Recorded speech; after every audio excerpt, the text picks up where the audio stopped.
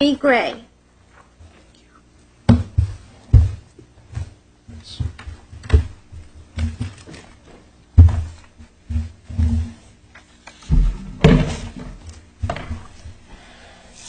Good morning.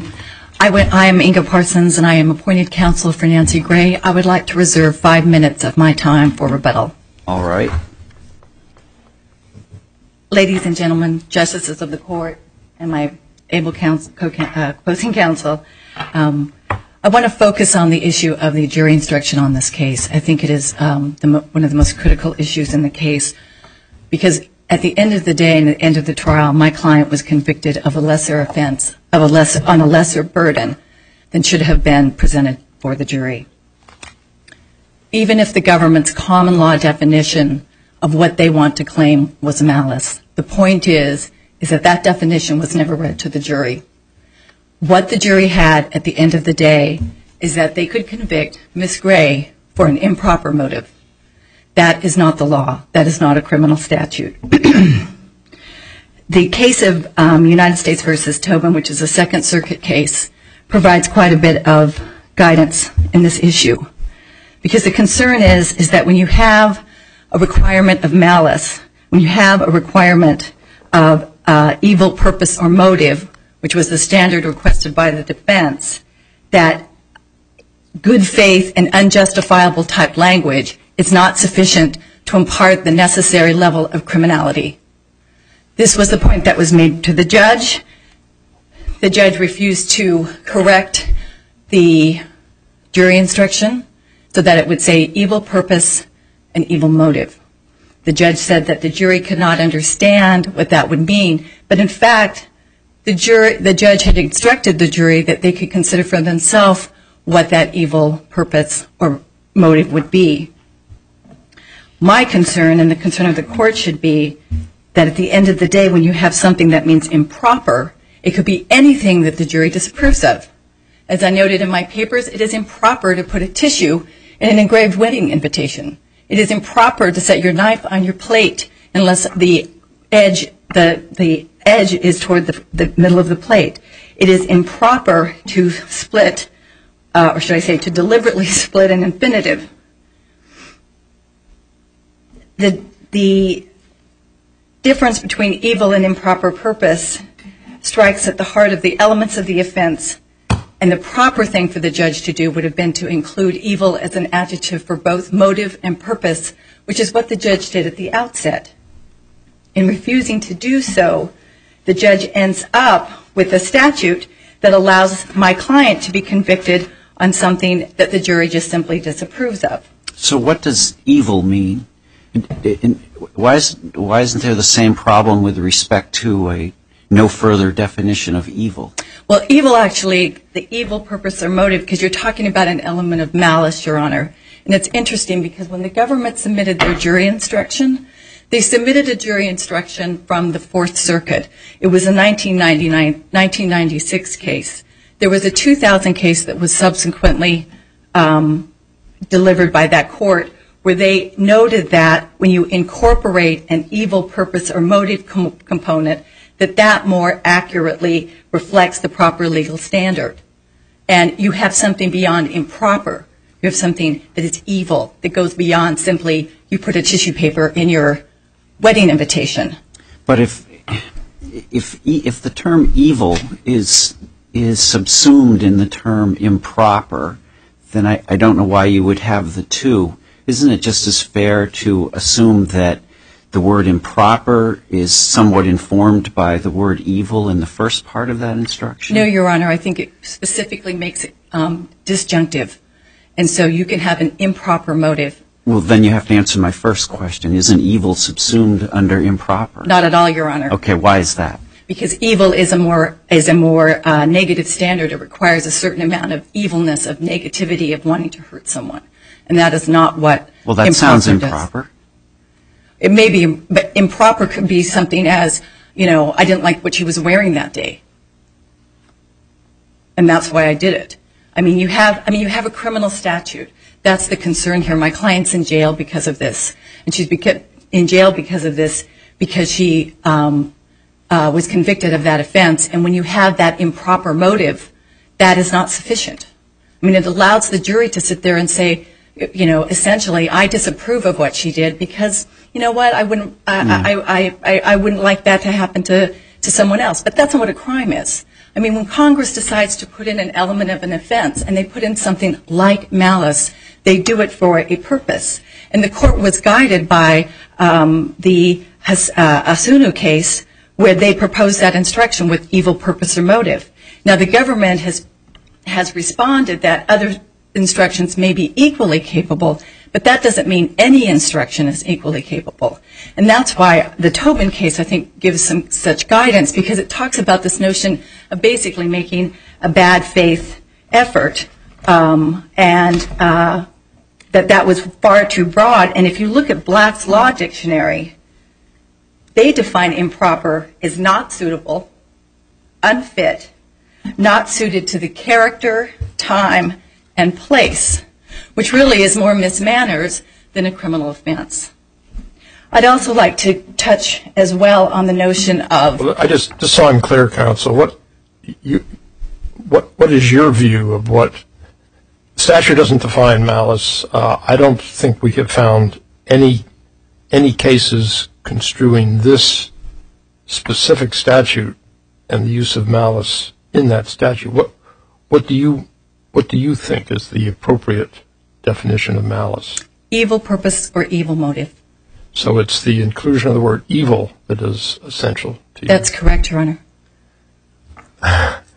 What- what- okay, I guess I go back to Judge Howard's question. How does that, what does, how does that illuminate anything? What does, what does evil mean? It means you have to, do you want to hurt somebody, that you want to do something for, um, uh, I mean, we think of evil, it's, you know, we, we don't use that term lightly.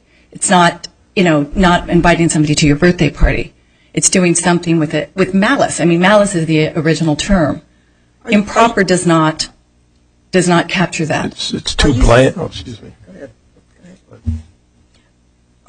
Are you saying that evil references a, a a consciousness of illegality? No, it goes beyond that, Your Honor. If, if it were just that, you wouldn't even need malice in the statute, because you could just willfully um, do the threat without having any modifier with respect to the intent. And the fact that in this statute, they included malice, they were going beyond just simply doing the threat. You had to have a specific evilness to your purpose and to your motive. And it's that putting improper before the motive that dilutes that to a level that shouldn't rise to a level of criminality under the it Sort statute. sounds like what's unusual about this statute, usually motivation is not an element of the offense. What you seem to be saying is that what's unusual about this statute is that motivation does become an element of the offense. Is that, is that what you're That's saying? correct, Because Your Honor. The statute does talk about knowingly, uh, knowing the information is false, uh, acting willfully, which is a kind of intentionality, I guess. But then when it talks about maliciously, the jury actually has to make a finding about the motivation of the defendant, why the defendant did it? Yes, Your Honor, they do. Otherwise, why have the word malice in there at all? And that's what the Fourth Circuit grappled with in terms of defining um, malice uh, in a similar statute and finding that it required this evil purpose or motive. And that is what the judge originally instructed and then backed off from that. And, then, So and the that was a got right. I concern. mean, it, it said motive was part of the analysis here, but it, just, the adjectives weren't, the adjective wasn't strong enough. Well, it wasn't strong enough. In fact, it was less than strong enough in a sense because it basically took it out of a criminal, a criminal intent to something um, that could be a, a, a civil faux pas. Um, improper is was not proper. I mean, had the judge wanted to, and we were in the process of doing that when the verdict came back um, to determine something that would um, be equivalent that's one thing. But our position is, and I think we would uh, be well supported by the Fourth Circuit and certainly the Second Circuit, is that improper doesn't get to that level. it's not strong enough. It does, it is not malice. Improper is not malice. Do you have off the top of your head what the evidence of malice was in this trial or the evidence of absence of malice or what the arguments to the jury were on malice? There was um, very little evidence of, malice. Um, the judge had made a, reference to there might have been some motive against American Airlines. Um, there was evidence here that my client, who had no prior record, who had worked for American Airlines for um, 10 years, loved her job, loved American Airlines. She has an American Airlines tattoo. She has an American Airlines license plate. Um, that she was the embodiment of uh, of American Airlines. I mean, it certainly would have been an issue for the jury, but there certainly wasn't a lot of evidence with respect to that. Thank you.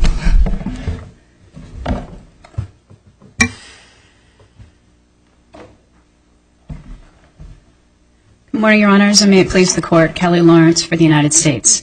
Um, addressing first the evidence of malice in the case, however defined, um, the defendant's confession, which was admitted at trial, in her own words, she explained that she had written the bomb threat not because she wanted another, I'm paraphrasing, not another, another line 11 to happen, but because she was angry that a ground crew worker had called her a name and she wanted to get him in trouble.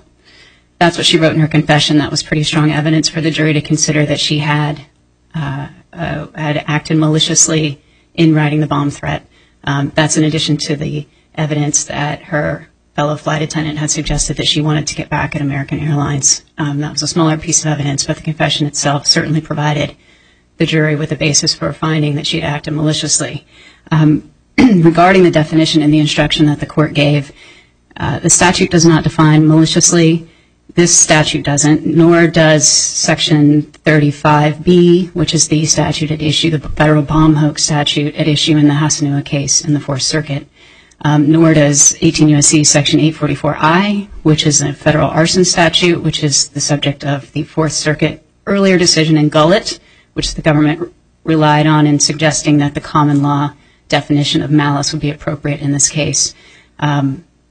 There, is no settled definition of malice. It's used in a variety of different statutes. It's used to inform uh, intent and motive and mens rea in a variety of different cases. This court has spoken on has equated what maliciously with vexatiously under the Hobbs Act, um, Hyde Act, I'm sorry. It's used in terms of slander and libel. There are a number of different ways to talk about what malice means. And what the government suggested in this case, consistent with some reported decisions interpreting other similar statutes, is that where Congress hasn't spoken and the government has not been able to find definitive congressional history, uh, legislative history on this point with the statute, if Congress hasn't spoken in using a certain word, the courts typically use the common law meaning. And in this case, the common law definition, which the government recommended, was to act intentionally or with willful disregard of the likelihood that damage or injury would result. The district court in this case decided to adopt the defendant's proposed definition instead, which was taken from the Sand Treatise, and which said to act maliciously means to act with an evil purpose or motive. Sand references the Fourth Circuit decision in Hassouneh. And I think it's important to understand where the Fourth Circuit was coming from and where it ended up in that case. It was looking at Section 35B, Title 18, which is the bomb hoax statute. It has a subsection A, which is a misdemeanor provision, which has no mens rea or scienter element. And it has a subsection B, which was at issue in that case, which does have the whoever acts um, willingly and maliciously. The Fourth Circuit determined that by creating the two subsections and adding the scienter element in the felonies provision, Congress must have intended something more when it added the word maliciously. So the Fourth Circuit said it wasn't enough to just say that the act was intentional or reckless, because that would have been too similar to the misdemeanor provision. It had to be something more. In that case, the defendant had proposed evil purpose or motive. The Fourth Circuit said that seems like it would be a more accurate description but it remanded for the district court to decide what instruction to give. The Fourth Circuit also said other formulations could be equally capable of conveying the necessary mens rea. So even if this court were to follow the Fourth Circuit's analysis and say that something more is required in this statute, which the government believes it does not have to do, nor should it, um, evil purpose or motive is only one formulation, and the way the court gave it in this case, evil purpose or improper motive, accurately reflected that. Well, there is a, doesn't the appellate have a fair point? There's a pretty big difference between evil purpose or motive, where evil modifies both purpose and motive, or what you have here was this uh, disjunctive form, evil purpose or improper motive. I mean, the suggestion, I think, is unmistakable that those are two different possibilities, and from appellant's point of view, the second one is a much less exacting one and, and really uh, incompatible with the notion of malice. Uh, where did that where did that disjunctive form come? Did the government propose propose that? No, what happened originally is that the defendant proposed the SAND formulation from the Fourth Circuit case, evil purpose or motive. Yeah. um, to define maliciously. And the court adopted that and gave that in the first instance and said um, to act maliciously means to act with an evil purpose or motive. It means to do something that is knowingly wrong. And then as it gave its instruction further, it suggested that the defendant, the government had to prove the defendant had some malice toward American Airlines specifically, which the government objected to, saying that wasn't part of the crime. It needed to act, the defendant had to act maliciously, but didn't have to have malice toward American Airlines. So the court, when it restated its its definition, it said evil purpose or improper motive, and that's in the disjunctive, meaning the motive, the malice toward American Airlines could be different from the evil or the purpose of her doing this that was maliciously. That's the interpretation that I have from that, is that the court was trying to separate out a motive toward American versus a general motive to do something maliciously. Um, nevertheless, the way the jury heard it was evil purpose or improper motive. But just simply to say that improper might connotate some something, some standard of uh, malevolence less than evil does not make the instruction incorrect, where the statute itself doesn't require evilness. It simply, perhaps, at the most, requires something more than recklessness. An improper motive would satisfy that standard. The jury was not left to just say, did she act recklessly? The jury was required to find she at least had an improper motive or evil Is there any any basis in common law attempts to define malice for equating malice with, with an improper motive? I mean, I, that's I don't, I'd be surprised if you'd find any basis in any common law attempt to define malice that equated it with something arguably as innocuous as an improper motive. Well, an improper motive isn't innocuous. It's, it's definitely something that's wrong. And the court had said this is something that is knowingly wrong. And when you look at the definition in blacks, it suggests that there's, Um, and it, it- not just that it's wrong, but that it's without legal excuse or justification. And that's not exactly the same thing as improper, but it's similar to it in the sense that you're acting maliciously. It doesn't mean you're necessarily acting with an evil purpose, which Black also says is often not used in the legal sense. Normally, malicious in the legal sense mean you're acting without legal justification or excuse. So you're doing something knowing you really shouldn't be doing it. You have no excuse for this other than to do it. And I would add that the court, when the defendant objected to the court's formulation, sorry, when the jury asked the question later, what are the four elements of the offense, e.g., malice, the defendant said it wanted to give, she wanted the court to give the evil purpose or motive instruction. The court said, that's not, that doesn't really define anything. I gave it, and I think it was correct, even with the improper motive piece, but it doesn't really explain to the jury anything more about what maliciously means. And the court proposed some formulations. Defense counsel asked for time to look at it, but at the same time, she acquiesced to sending the elements of the offense, the four elements, back to the jury so they could think about it. And she accepted the notion that only if they had further question would there be, would, would an additional instruction be necessary. So under the circumstances, the court's definition, which did reflect the legal standard and did impart something more than the common law definition to the extent that was required, properly informed the jury of the standard that was necessary here to find the defendant guilty. There are other issues raised in the defendant's brief. If you have any questions, I'd be happy to answer those. Otherwise, we'll rest on our brief. Thank you.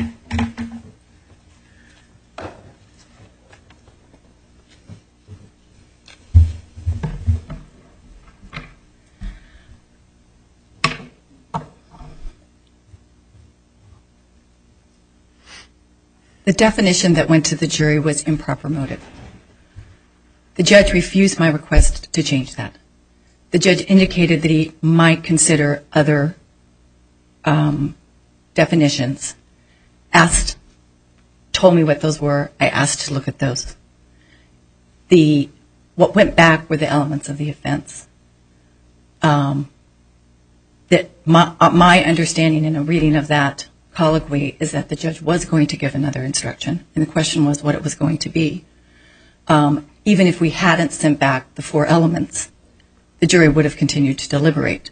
So the question is, is um, the judge refused to give the instruction that I requested, and that's the instruction that would have put it back into the Hassouneh definitions. Counsel, an instructional error can be harmless. In light of what opposing counsel has said is contained in the record, specifically in the confession as to why your client said she did this, why why wouldn't that, uh, couldn't that be construed as the malice contemplated by the statute? Because um, our argument would be that that doesn't show evilness um, as to against American Airlines, and um, that's what the judge was Um, focusing on at the trial, and also that it doesn't have a level of evilness. Now, it may be improper, and that's part of the concern, is that, um, but in terms of the evilness or malice.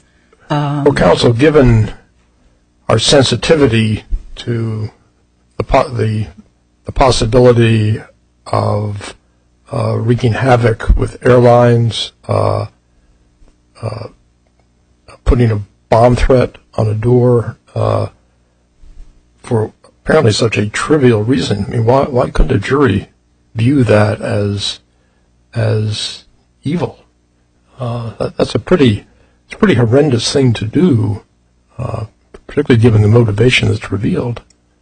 Well, and there's also, the jury could have determined that um, this was someone who had, um, who was, um, wanted to be a hero, who wanted to save people, and went to the captain with the information about the bomb. And in fact, the evidence of trial more strongly supports that, that this is someone who um, saw the bomb note, went to the captain, helped with the um, procedures, and in fact, the the greater evidence at trial, in large part, was her wanting to be the best flight attendant, and wanting to save people, and wanting to be the hero. And that's the evidence that was before, the greater evidence but that was before the the court. There were also some issues regarding the confession with respect to whether she was, her levels in terms of her um, sugar levels, and that was also before the jury as part of that. I mean, there were issues to that, and there's not a lot of time to go into that element, but that's all briefed by both parties. But that's really the push, it seemed, even from the government's perspective, was her going to the captain and wanting to be the hero. And I think that was one of the reasons why the government was so concerned about the judge focusing on malice against American Airlines, because it really was let not, it was such a tiny part of the case. When you read the transcript, you can see how this was someone who took her job really seriously, someone who thought she was the best flight attendant, and um, wanted to be the one to tell the captain, wanted to be the one to um, save the people. With respect to whether there was a legal excuse or justification, all of the standards that the government sets forth may uh, you know, have been proper, but that is not what was said to the jury. And I think that's what makes this case so troublesome, is because it was not only said to the jury, but it was one of the very last things that was said to the jury before they went to deliberate, was this improper motive. And that's of concern. And the fact that the jury came back and did have some concern, in fact, specifically as to what the elements were, and the fact that they said, specifically, e.g. malice, gives us some insight into what they were focusing on. And therefore, the judge, at a minimum, should have changed it to improper, uh, excuse me, evil purpose or motive. And if he wanted to give some other instruction, he could have done so. And that's the error in this case.